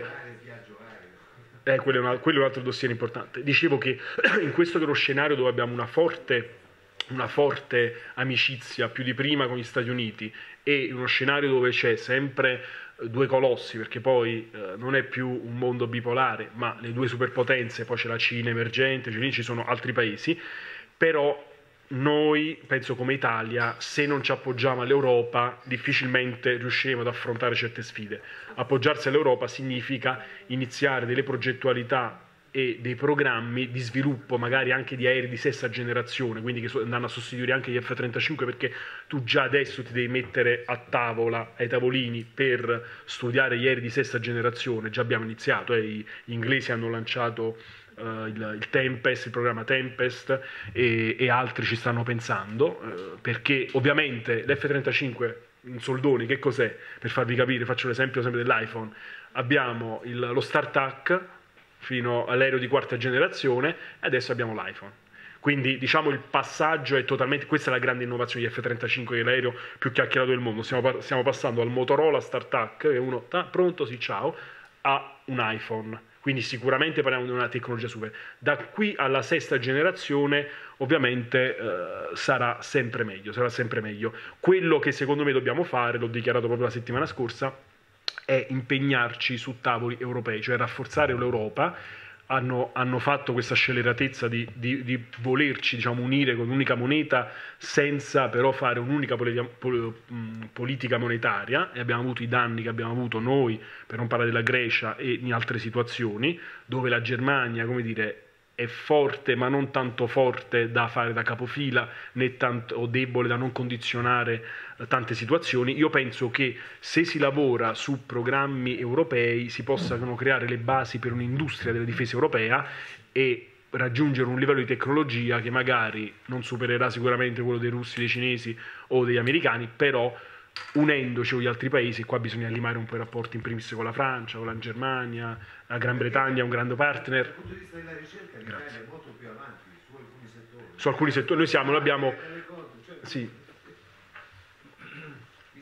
Per, per, concludere, se non vado troppo lungo, eh, proprio in questo momento io sto trattando per il governo due importanti atti. Uno è stato licenziato con pareri favorevoli, nessuno ha votato contro, mi fa piacere, sul fondo un fondo europeo per la difesa di 13 miliardi, eh, 8,9 e 4,1, uno per ricerca e sviluppo e un altro per la realizzazione, che obbliga delle collaborazioni di tre Paesi membri, quindi tre Paesi membri che devono sedersi a tavolino, collaborare, quindi li obblighiamo a lavorare per prendere soldi. Quindi quando ci sono soldi da prendere, tutte le aziende si mettono a lavorare, noi obblighiamo, e così si fa l'Europa, secondo me. Quindi un'Europa diversa, più forte, ma un'Europa di Paesi Uniti. Poi è normale che ogni governo ha i suoi interessi e c'è una sovranità e ognuno ha la sua intelligence che rappresenta quella sovranità incedibile per cui sicuramente sarà difficile arrivare, se non impossibile, a un'intelligenza europea, però con un'industria unita della difesa si può rafforzare l'Europa e avere più voce poi come Italia all'interno dell'Europa e nel mondo. F-35 l'ho detto. Eh, la 124-2007, le modifiche o solo agenzia? Allora, io ho capito che in Italia, che abbiamo spesso un sistema malato di informazione, bisogna andarci piano con le parole. Allora, su ci ho riflettuto molto. Io no, non userei il termine sull'agenzia, anche se è quello il concetto. Nel senso, storicamente si dice ci sono due grandi poteri, quello un po' più militare, quello un po' più di polizia interna, che devono stare in mano separate per avere una sorta di, di garanzia democratica. Io invece ritengo che il paese sia uno, eh, bisogna avere, come dire, la legge dice giusto che il decisore è il Presidente del Consiglio, anche se poi c'è un'autorità delegata, ma il datore di lavoro è il Presidente del Consiglio, quindi attualmente dell'intelligence diciamo, il capo è il Presidente professor Giuseppe Conte, e di che così a scendere, quindi c'è diciamo, un unico capo ci sarebbe, però eh, ecco, non, utili- non, spaventerei i vecchi romantici o i grandi professori, analisti con l'unica agenzia o due agenzie, cioè non è questo il dibattito. Io renderei eh, il comparto, lo chiamo così, il comparto intelligence funzionale, quindi nella mia testa quello che più volte ho raccontato è diciamo, un rafforzamento del DIS da un punto di vista di analisi e di comando, di comando ai comandi sottostanti, quindi non ISI e ISE, due agenzie, ma dei comandi specializzati, ripeto, in eh, controterrorismo, in spionaggio, in eh, trattazione della minaccia cibernetica, anche offensiva, perché eh, un altro dibattito a livello europeo molto attuale è quello se considerare o meno l'attacco di natura cibernetica un attacco cinetico o meno. E questo ovviamente cambia tutto perché poi se subisci un attacco cinetico e dici è stata la Cina, è stata la Russia, gli Stati Uniti partono e attaccano, ovviamente questo non è ancora possibile per un semplice motivo perché per quanto ne vogliono raccontare e dire ad oggi, ad oggi non è ancora attribuibile, eh, quindi c'è l'attribution, tutto il tema dell'attribution di un attacco anonimizzato il deep web non è ancora ehm, fattibile, anche se ci si avvicina sempre di più, però più ci si avvicina, più questi bravi cervelloni scendono del deep web e si nascondono a livelli, siamo arrivati al dodicesimo, al tredicesimo, ho perso il conto. Materia di insegnamento, eh, l'ho detto prima, dove sei andato il ragazzo che... C'era un ragazzo che aveva chiesto quella materia lì. Ah, eccolo là, scusami, non ti vedevo. Ah, se- no, io eh, mi- l'ho detto prima, per me sfondi, sfondi una, una porta aperta. Per, per me, ti ripeto, non ho l'esperienza di docente, però eh, dall'asilo la insegnerei. Cioè, nel senso, penso che dobbiamo educarci alla sicurezza, alla sicurezza collettiva. Eh, un'altra cosa importante che finalmente si sta attivando, forse l'ho detto già l'anno scorso, ci tengo molto perché è un'idea che ho lanciato io in Italia da opposizione, adesso la iniziamo a fare, è la scrittura delle nuove norme di progettazione eh, di ingegneristiche, quindi col CNI che ha preso la mano in palla, che significa progettare l'ambiente, quindi non solo dal punto di vista strutturale antisismico, ma anche diciamo antiterroristico per capirci. La Francia qualcosina già l'ha fatto, gli Stati Uniti lo fa, noi dobbiamo iniziare a fare anche questo che significa progettare l'ambiente in maniera più sicura, quindi facciamo tutte le decorazioni del tipo, però facciamo delle considerazioni oggi, quindi telecamere, sensori, si può progettare l'ambiente a misura d'uomo per renderlo più sicuro. E, e quindi bisogna poi fare formazione e informazione. Per me quella è la prima cosa, formazione e informazione e insegnarlo alla scuola, quindi metodologico, metodo scientifico per far distinguere più piccoli le fonti e far capire quando ci troviamo davanti a una fake news e quando invece ci troviamo davanti, cioè se eh, la televisione dice delle cose, non evito di fare nomi e canali, però se la televisione o se eh, Angelo Tofoli, se io utilizzo le, le mie dirette, la mia pagina Facebook, se io sto sulla pagina Facebook di Angelo Tofoli, è normale che sicuramente non troverò delle voci che andranno contro Angelo Tofoli. Allora, se io guardo la televisione, leggo un giornale e si raccontano 100 cose, chiediamoci pure di chi è il proprietario del giornale, chi è il proprietario della televisione, chi è il caporedattore, chi è l'articolista, perché sapete come funziona e qui si possono fare belle esercitazioni OSINT, eh, me le facevano quando, quando studiavo e tu vedevi la differenza tra chi impacchettava l'articolo, chi lo scriveva e a salire fino al capo che poi bastava un articolo, magari il contenuto era anche favorevole a una persona, poi bastava un articolo un po' così e il risultato era diverso. E le, sulle modifiche ti ho risposto. Eh, il prossimo dittatore web, giusto? tu che registri, faccio vedere dittatore, qui no. No, secondo me, come dire, ogni, ogni epoca ha i suoi strumenti, quindi dai geroglifici ad internet. Chi sicuramente sa utilizzare meglio gli strumenti ha più voce, arriva a un pubblico più vasto, però anzi io credo che proprio quello che è stato fatto, forse tramite libri, tramite le radio, tramite i giornali, tramite le televisioni, difficilmente si può fare con il web, perché è così vasto ed è così bidirezionale, quindi tu lanci un messaggio, ma se sbagli, se commetti un errore, a me capita, magari faccio un post ogni giorno, ogni due giorni, sbaglio così anche una parolina, un articolo, salti 9, ti scappa, dopo tre secondi ci sta chi mi scrive, oh guarda corregge questa parola, cioè la rete si autoregola e si autocontrolla, quindi arrivare al controllo totale, anche se, attenzione, è dimostrato, e questo devo dire che ehm, mi fece una bellissima chiacchierata con Julian Assange in ambasciata 5 anni fa o 4-5 anni fa, ambasciata Equadoregna a Londra, dove lui mi spiegò proprio in maniera molto dettagliata come i eh, principali, i 10 principali detentori del potere informativo ancora oggi sono quelle multinazionali colossi che controllano l'informazione a livello mondiale. Quindi noi possiamo partire da, dal giornalino di Soveria fino a salire alle grandi televisioni internazionali e poi ci sono non più di 10 attori che controllano tutta l'informazione a livello mondiale. Quindi poi eh, noi abbiamo delle voci più piccole, però ecco, devo dire, io ho un, un caso mio personale dove fui attaccato dal, dall'epoca signor, signor, no no, all'epoca era il Presidente del Consiglio, no, era, era signor Matteo Renzi, non era più Presidente del Consiglio, fui attaccato in diretta televisiva sulla 7 da Matteo Renzi, eh, quando poi Presidente era Gentiloni, lui non era eletto, si vuole senatore, e eh, raggiunse, la puntata raggiunse 1.300.000 persone. Io ho fatto una replica, una replica, con un video dalla mia pagina Facebook, su, l'ho superato, ho fatto un milione e mezzo, quindi è stata più forte la mia voce. Forse l'avvocato ne terrà conto del risarcimento che mi dovrò dare. Eh, eh, e, questo, cyber security IoT, come tutelare? Eh, la risposta sarà banale, è sempre quella, formazione, formazione, formazione. Cioè, fin da piccoli, io spero, cioè, oggi si parla di... Io, non, io sono un mezzo nativo digitale, come quelli, ho 37 anni, sono un mezzo nativo digitale, all'epoca io facevo, mi esercitavo su quei primi giochi, non so se conoscete Travian, Atrico Game, quei giochi, in particolare Travian è un gioco di guerra, ero campione italiano a fare i campionati in Sud America, là deve essere proprio appassionato e attraverso i giochi ci sta chi seleziona, chi seleziona le persone, anche le, le, migliori intelligenze al mondo utilizzano i videogiochi. Io, io, il primo contatto, questo lo dico, tanto ormai siamo al governo, questo nessuno lo sapeva, l'ho, l'ho, rilevato da qualche mese, io il primo contatto con i servizi l'ho avuto per quello che facevo quando ero una matricola universitaria, 17-18 anni fa. Siamo sempre stati Non dico per cosa, perché, eh? sempre attenti. Però, però no, con positivi, eh, nel senso non, non perché facevo Marraghella, perché ero capace di fare cose divertenti. E quindi immagino come me tanti ragazzi, ma cose così. Vi ho rilevato un mezzo segreto. Eh. mezzo, mezzo.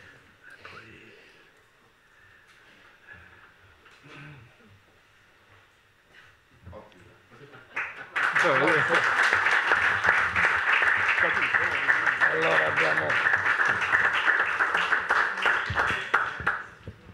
Abbiamo concluso nel migliore dei modi la uh, seconda edizione della Università d'estate sull'intelligence e eh, dopo la prima lezione del, del, Presidente del Comitato parlamentare sui servizi, Lorenzo Guerini, che ha, ha illustrato quella che è l'architettura dell'intelligence nazionale, Abbiamo avuto ieri la uh, lezione brillante del colonnello Alessandro Ferrara che ha spiegato come funziona dall'interno il, il sistema evidenziando quelle che sono sfide, opportunità, minacce e prospettive. Stasera abbiamo concluso con Angelo Tofolo che ha iniziato la sua lezione parlando del controllo parlamentare e eh, evidenziando una evidente asimmetria e cioè mentre l'intelligence nasce con l'uomo,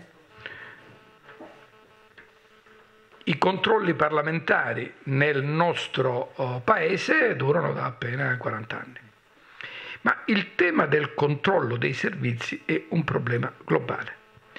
Quando negli Stati Uniti d'America, agli inizi degli anni 60, cominciano le critiche feroci all'attività della CIA, che sembrava fuori controllo rispetto al congresso e al presidente, due giornalisti, Weiss e Ross, scrivono un libro che il mio maestro negli studi dell'intelligence, Giorgio Galli, mi segnalò, caro Mario, è Il governo invisibile, e in cui si evidenziava come la CIA probabilmente avesse superato la parte eh, informativa privilegiando quella operativa e la soluzione che loro proponevano era maggior controllo parlamentare.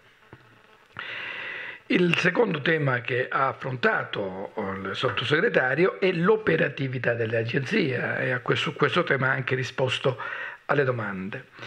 Superare la separazione tra interno e esterno probabilmente è una necessità perché non solo interno e esterno sono sempre più labili in una società globalizzata, ma addirittura diventano inesistenti a livello del cyber.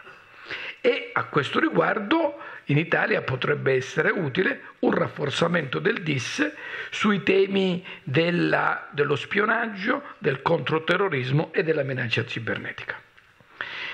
Tanto più, per quanto riguarda sempre il cyber, che negli Stati Uniti l'attuale presidente ha, ha annunciato un'armata del cyberspazio, perché questo, e già questo avviene da tempo, è il quinto scenario della guerra, dopo terra, mare, aria e spazio, è proprio il cyberspazio.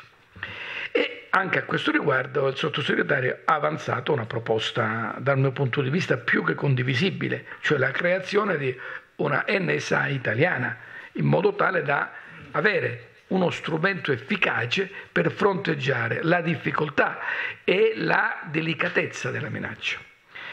Per quanto riguarda poi l'attualità politica, ha affrontato oh, il, l'aspetto della gestione delle, della comunicazione di crisi da parte delle aziende, che è stata evidente recentemente per i drammatici fatti legati al ponte Moranti. Questo poi richiede la necessità e la presenza di operatori specifici e anche questo insieme col data scientist e il data analyst potrebbe essere un, una, un momento di ulteriore nuova formazione perché c'è necessità di operatori del settore. Poi il sottosegretario ha, si è molto dilungato sul tema della disinformazione e dicendo come i cittadini dovrebbero essere attrezzati per individuare la fonte e poi i contenuti della notizia, tanto più che in Italia c'è un sistema malato dell'informazione.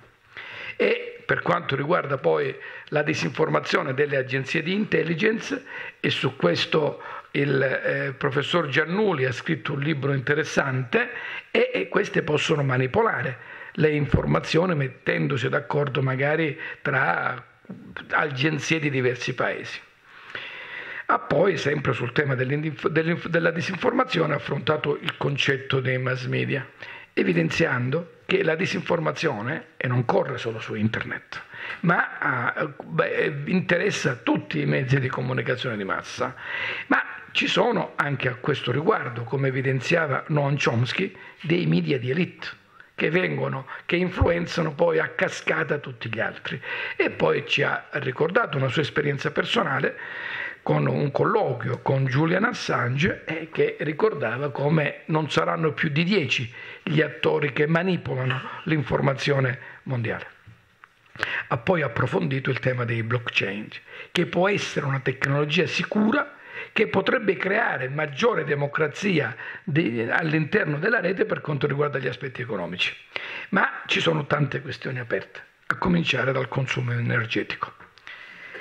Il sottosegretario poi ha parlato dell'intelligenza artificiale e nell'intelligenza artificiale ha ampliato lo spettro, parlando di un'intelligenza artificiale del singolo perché noi oggi stiamo assistendo a una duplice ibridazione con le macchine che diventano più intelligenti e le persone che assumono dentro di sé quantità sempre maggiore di tecnologie. Questo potrebbe sconvolgere tutta l'umanità per come l'abbiamo finora conosciuta. La, qualche se, mese fa a Roma ho assistito a un convegno della Federazione Italiana degli Editori dove è intervenuto il professore Vatalaro della Università Roma 3 che ha profetizzato che nel 2020 quello sarà l'anno dell'attacco all'uomo. Mm, questo quindi richiede un problema etico fondamentale, ma su questo c'è un problema politico enorme, perché mentre le istituzioni democratiche dialogano con grande difficoltà a livello globale, questo non è un problema per le organizzazioni economiche né per le organizzazioni criminali, che si muovono con meno farraginosità nel contesto globale. Poi, infine, ha concluso per quanto riguarda le sue deleghe specifiche, parlando della necessità di un'industria della difesa europea per gli F-35 a domanda risposto e abbiamo speso finora più di 5 miliardi di euro, sono arrivati già 10 aerei, sono in arrivo un altro, un altro paio, si può solo diluire nel tempo la spesa e magari utilizzare le risorse che si risparmiano temporaneamente per investimenti nel cyber. Vorrei rilevare un elemento che ha fatto emergere il sottosegretario, e cioè Tutta la vicenda legata agli F-35 avviene, guarda caso, durante il governo Dini, che, secondo alcune ricostruzioni, rappresentò un colpo di Stato democratico rispetto a quelle che erano le volontà popolari, per come poi si manifestavano allora ed ora. Quindi questo è un elemento di riflessione aggiuntivo su cui tenere eh, diciamo, alta l'attenzione. Per quanto riguarda poi Un'altra delega che è di competenza del sottosegretario Tofolo è quella dell'aeronautica. Ora, a questo riguardo, signor sottosegretario, nei miei studi io ho affrontato e constatato che le notizie che riguardano gli oggetti volanti non identificati, cioè gli UFO, vengono tutti trattati dall'aeronautica. Quindi a questo riguardo poi magari perm- mi permetto di proporti di organizzare un convegno oppure una task force che possa affrontare questo tema così suggestivo di, di UFO eh, marina e UFO intelligence, che è un argomento che io ho trattato anche in alcune pubblicazioni di cui ti farò poi dono. Quindi in definitiva bisogna educare all'intelligence fin dall'asilo e ci ha anche ricordato che è fondamentale progettare l'ambiente in modo più sicuro attraverso un metodo scientifico e un pensiero logico. Il sottosegretario ha concluso la sua lezione parlando, invocando una grande attenzione verso la HUMINT, perché più le tecnologie si svilupperanno, maggiormente sarà fondamentale il fattore umano. E a questo riguardo voglio ricordare a tutti voi quello che diceva Steve Jobs, che prima di morire affermò che darei tutta la tecnologia che possiedo per una serata con Socrate, perché il pensiero verrà sempre prima delle tecnologie. Grazie sottosegretario Tofano. E arrivederci al prossimo anno.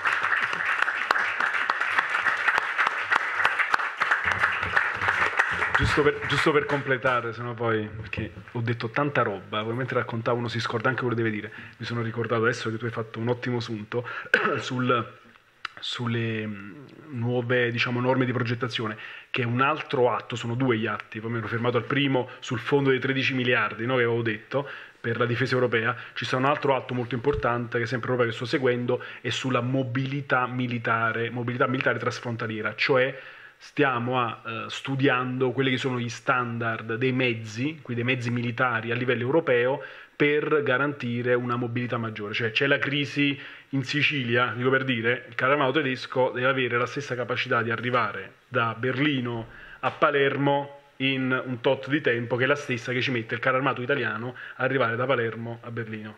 E questo è un altro studio abbastanza importante che va sempre in ottica di sinergia dei paesi europei per quanto riguarda la difesa. Me lo scordate di Grazie per questa bella notizia, quindi concludiamo l'Università. Grazie a tutti voi per esserci stati.